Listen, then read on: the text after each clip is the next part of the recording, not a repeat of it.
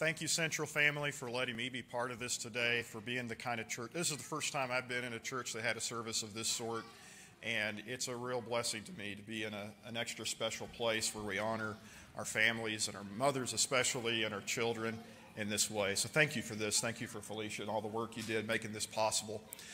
Thank you for being patient. I know we've gone a little long, and then it was on a Sunday when we said keep your kids with you, so that makes it like triple long. And I, I'm going to keep my part uh, blissfully short, I promise. Um, in fact, I'm going to break my cardinal rule of preaching today, Derek. You can call me a hypocrite later. I rant on this on a regular basis that when you're writing a sermon, you start with your scripture, and then if you want to think of a cute story to tell, you can add that on later. Today, I thought of my cute story to tell first, and then it was like, what scripture goes with that? And that's kind of what today is. I want to talk about the faith of Maxine Nichols. And this last week in particular, um, got to do my own uh, graduation on Friday, and so the build up to that, and you're sitting there and they're getting ready to confer a degree on you, and you think about the people in your life who led you up to that moment. And for me, it's kind of a slideshow of my own parents, of my wife, of my children, of lots of different people in my life that have made my life possible. But there's one person and one face that just kept coming up over and over again and it's one of my grandmothers, Maxine Nichols, and all that she meant to me. Um, Maxine lived in Drumright, Oklahoma, which is one of the places where my dad got to preach and where I spent a few years as a very small child, about three, four, five years old. And small country church, transformative for me in my life. And the whole time I was there, I knew where I was supposed to be, and that was in Maxine Nichols' lap. Anytime I was in the building, that was the spot for me. And she'd uh, hold her hymnal and follow the little words along where I could pretend I was reading and singing, whatever. And, and then she'd amuse me and entertain me while Dad preached for 45 minutes and helped me get through the service. And, and 45 minutes, that's right. This will be much shorter. Maxine Nichols was, for me, just a huge influence. And it didn't stop when I was a little kid. We moved away when I was five to live in Seminole. And uh, I grew up at a distance from Maxine and didn't get to see her very much through the years. And then at the age of 16, um, I was starting just barely to do some preaching, some very, very bad preaching uh, for different little small churches around Oklahoma. And uh, one of them that said, hey, we need a guy to come fill in a couple times a month was the Westport Road Church of Christ up in, that doesn't even exist now, but it was up in the Cleveland, Oklahoma area. And I said, that's perfect. I'll just, you know, get up on Sunday mornings at the age of 16, just with learn how to drive, and I'll drive an hour and a half up to uh, Cleveland and preach whenever they want me to, twice on a Sunday. And uh, my dad wasn't thrilled about the idea of his 16 year old son, who he didn't believe could drive well, and he was right, uh, driving up an hour and a half Sunday morning on a regular basis. Well, guess who was in between Seminole and Cleveland? Uh, it was Drumright and Maxine Nichols. And so she says to dad, hey, it's not a problem. He drives up on a Saturday. He spends the night with us. We'll feed him. We'll make sure, you know, gets a good night's rest. And then we'll send him the rest of the 20 minutes up to Westport and he can preach. And I stayed in her home for, you know, three years, several times a month. And again, got to preach so many really bad sermons only because of that lady who took the time to make her home open for me and is a lot of the reason I'm here. Um, when Selena and I were married, we you know, got to seat her as grandparents are seated, and uh, along with her husband Nick, who wrote a goofy poem and read it at the reception, and it was pretty fun. And then a few years later, um, I stood by her as uh, Nick passed, and then uh, was there at, at her funeral when she passed very shortly thereafter. Uh, my dad preached her funeral, and I got to uh, lead the singing. And at the graveside there in Drumright, I'm standing there and I'm looking around at all of the children and grandchildren of Maxine Nichols and of the faith and influence she had, and not a single one of them was related to her. Maxine Nichols never actually had any children. She had, she had one. If you were to go into her bedroom, there was a little picture of a small little infant that she had who lived about a day and then passed away. And Maxine decided that having children wasn't going to be in the cards for her. She never had any more children. Instead, she decided from that day forward that every child who walked through the church door was hers.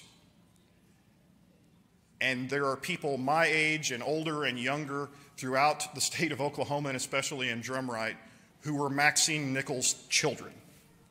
Not surrogate children, not adopted children, children with no asterisks and no disclaimer. You know what I mean? Like children.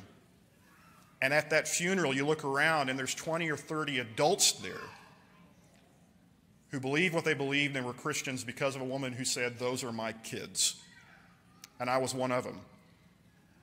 When I think of the faith of Maxine Nichols, it's a testament to what Christian family means. It's a promise of God. In Isaiah, the 54th chapter, God makes this promise Sing, O barren one who did not bear. Break forth into singing and cry aloud, you who have not been in labor. For the children of the desolate one will be more than the children of her who is married, says the Lord. Enlarge the place of your tent and let the curtains of your habitations be stretched out. Do not hold back, lengthen your cords and strengthen your stakes. For you will spread abroad to the right and to the left, and your offspring will possess the nations and will people the desolate cities. Fear not, for you shall not be ashamed. You will not be confounded, for you will not be disgraced. For you will forget the shame of your youth and the reproach of your widowhood when you remember no more. For your Maker is your husband, the Lord of hosts is his name. The Holy One of Israel is your Redeemer, the God of the whole earth, he is called. For the Lord has called you like a wife deserted and grieved in spirit, like a wife of youth when she is cast off, says your God. God has promised that in his kingdom, what is impossible will not only be possible, but downright likely. He says to women who may not have any children of their own, build bigger tents because you're going to have more kids than you can imagine. And in our church setting today, you have an opportunity to be that and live that in a way unprecedented.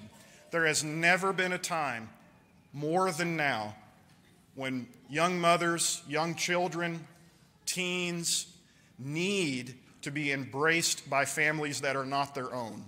They need adults in their lives, especially mothers, who love them and care for them. As a church, you today can have as many children as you want to have. They are hungry for parents and for the love that Christian parents can provide. And you are those people. This is our family. And it's a privilege to be part of it. It's as big as you want it to be. This morning, as we kind of land the plane here and conclude, what I'd like to do then is read to you from a precious passage in the book of Deuteronomy, which emphasizes the faith and significance of transmission of faith from one generation to the next.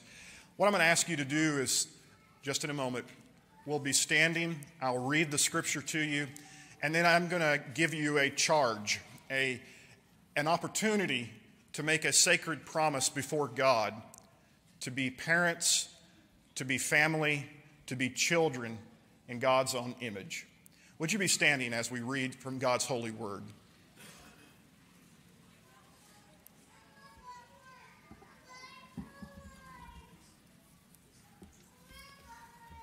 This from Deuteronomy chapter 6.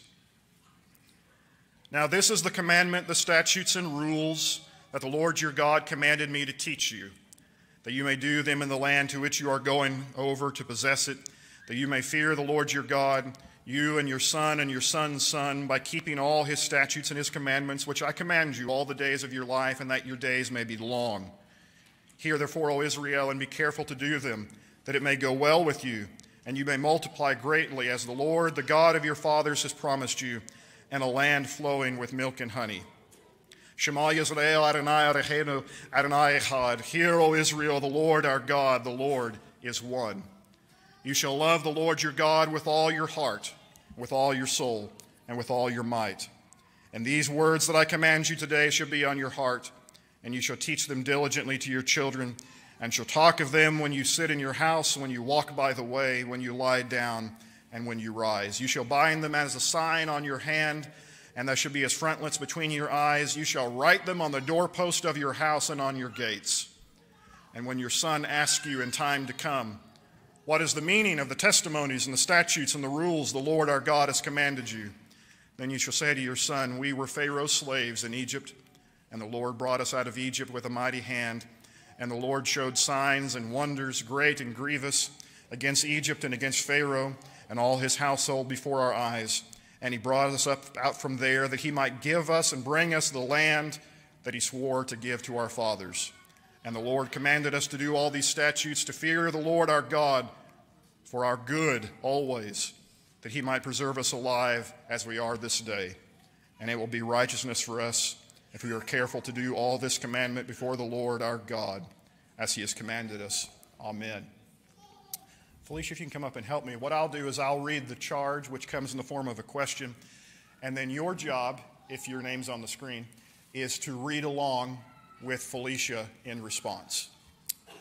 The first charge goes to children and to teens. Children, will you promise to learn to love God with all your heart? Will you promise to learn to love others as yourself? We will love others as ourselves. Parents, will you promise to love your child unconditionally as God has loved you? We will love our children unconditionally. Will you dedicate yourself to growing in your child a deep love for God and a wide love for others? We will teach our children the love of God and love others. And in church, will you promise to love every child in this church as your own? We will love those children as our own family. Will you share with these children a knowledge of God and of the gospel of Jesus Christ? We will Teach these children